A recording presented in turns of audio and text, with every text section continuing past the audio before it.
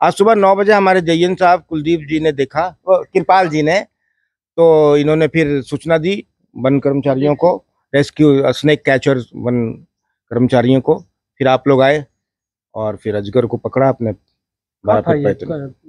यहाँ थोड़ा सा आगे था इधर।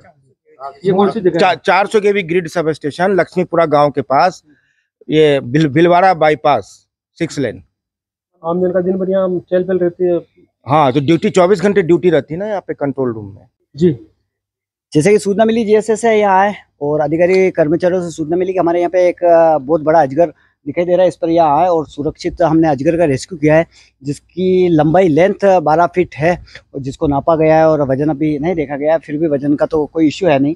और जीएसएस में कार्य करने वाले सभी कर्मचारियों सभी अधिकारियों को इस सुरक्षित रेस्क्यू के बाद में सबको भयमुक्त कर दिया गया है और इसको आप सुरक्षित जंगल में रिलीज़ कर देंगे। कभी भी ऐसा हो तो वन्य जीव वो हम आते हैं जब तक आपको सावधानी पूर्वक दूर से ध्यान रखना है ताकि आके हमारा छोटे से समय में, कुछ क्षणों में हमारा रेस्क्यू का काम हो जाए।